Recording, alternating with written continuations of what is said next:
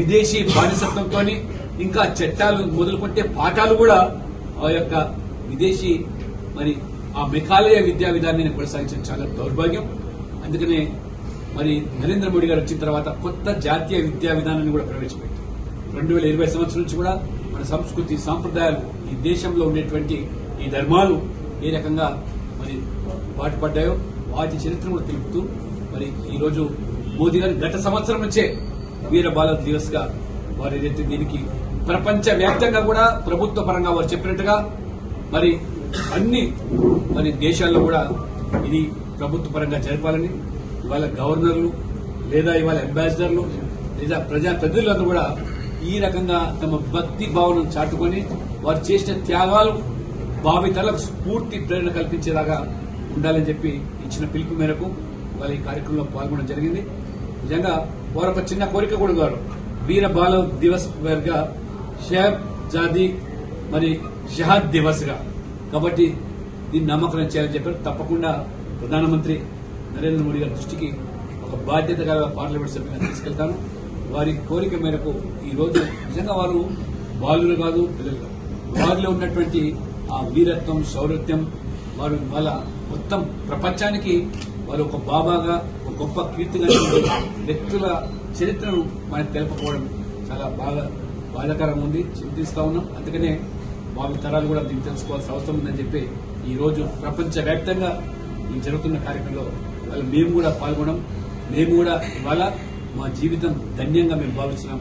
మా భావి తరాల పిల్లలు కూడా ఇది స్ఫూర్తిగా తీసుకోవాలని చెప్పి ఈ సందర్భంగా కోరుతున్నాం.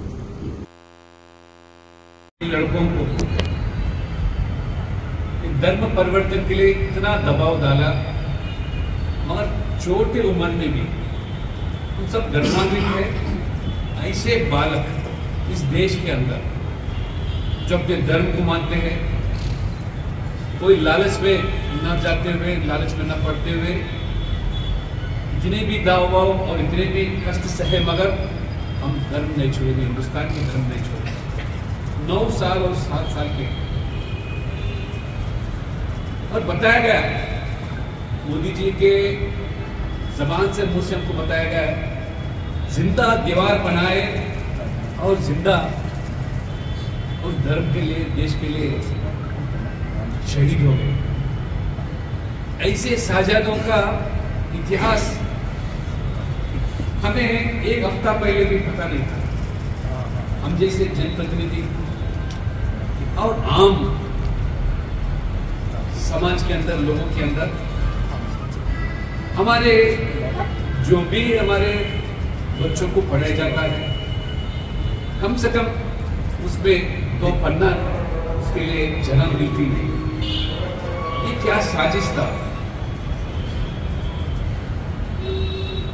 इसीलिए मोदी जी ने आज वीर बाल दिवस के नाम पर देश भर में शायद 2022 से मनाया जा रहा है। सरकार के माध्यम से देश भर में। छोटे छोटे बालक होते हैं इतना, आज देखो। मोदी जी मैं भी चाहता हूँ, आने वाले पीढ़ी को हमारा इतिहास ज़रूर बताना चाहिए।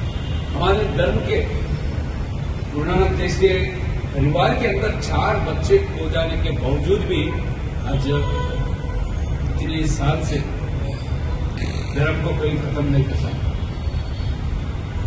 अंग्रेज़ों ने किया या हमारे मुगलों ने, तुर्क ने कई सारे ऐसे जंग किया, मगर धर्म तो पाबंद है, इसलिए मैं गर्वान्वित हूँ क्योंकि मोदी जैसा नेतृत्व के अंदर एक सिपाही के नाते हमको काम करना और हमारा हिंदुस्तान का आज जो शान, पूरा दुनिया के अंदर जो रोशनी दिखाया जा रहा है एक गरीब परिवार से आए हुए एक बेटा, आज नरेंद्र मोदी ने, जो चाय बेचकर आज हिंदुस्तान को, शासन ने दुनिया के अंदर, हमारा